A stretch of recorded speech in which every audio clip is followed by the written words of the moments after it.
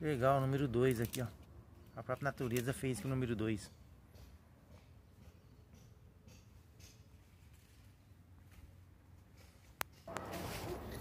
Eu tô removendo todas essas folhas velhas aqui, ó. O pé de banana ficar mais bonito. E o ambiente também ficar mais limpo aqui, né? Pra evitar inseto. Aqui é banana prata, esse pé de banana aqui. Tem vários mudos de banana aqui. Minha esposa vai na casa dos colegas dela, parente. Ela leva banana aqui pra lá, leva fruta, legume. Aí ela ganha também a mudo de lá e traz pra cá, e assim como era antigamente. Troca de legumes, troca de mistura, troca de planta. E a gente vai trocando e vai trazendo aqui e a gente vai levando também para os outros. Muitas mudas a gente já doou. Vocês vão ver aqui o cacho de banana, olha aqui, só ver que coisa mais linda. O cacho de banana prata. Lindo, lindo mesmo.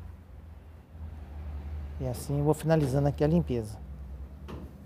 Vou pôr um sonzinho aqui agora para nós ouvir um, uma musiquinha para distrair um pouquinho.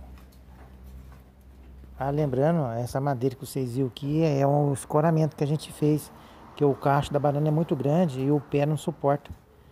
A minha esposa contou que deu 120 bananas num cacho só.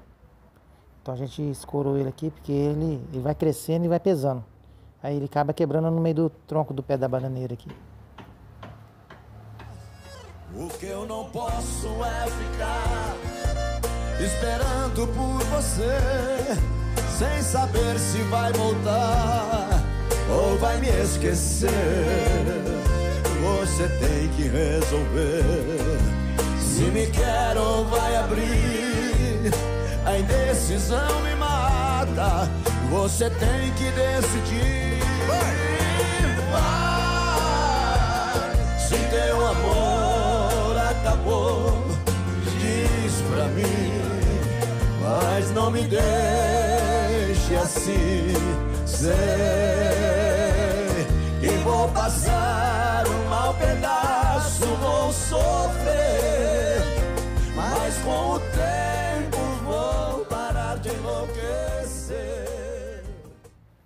Vou encerrando a limpeza aqui. Você se inscreve no meu canal, dá o joinha aí e compartilhe para você ver mais vídeo. Abração, fique com Deus.